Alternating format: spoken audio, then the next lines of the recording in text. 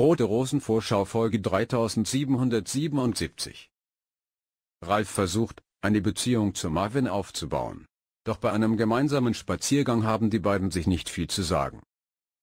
Ralf ist enttäuscht, bis Marvin plötzlich um Hilfe bittet, er hat die Einnahmen der Fischbude verloren. Ralf sieht darin eine Gelegenheit, Marvin enger an sich zu binden und schlägt ihm einen Deal vor. Er gibt ihm das Geld, wenn Marvin dafür mehr Zeit mit ihm verbringt. Hendrik ist entschlossen. Er braucht eine berufliche Auszeit. Britta bemüht sich nach anfänglichem Zögern um Verständnis und verspricht ihrer Unterstützung. Dann bittet Hendrik sie, mit zur Therapie zu kommen. Simon ist sauer, dass die ihn am Kauf des Oldtimers gehindert hat. Er will nichts davon hören, dass sie ihn nur beschützen wollte. Erst Charlotte bringt Simon zur Einsicht, er soll sein Herz nicht an die Vergangenheit hängen, sondern nach vorne blicken.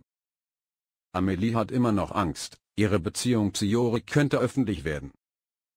Punkt als Jorik sie damit aufzieht, überrascht sie ihn, als sie sich im Hotel zu ihm bekennt.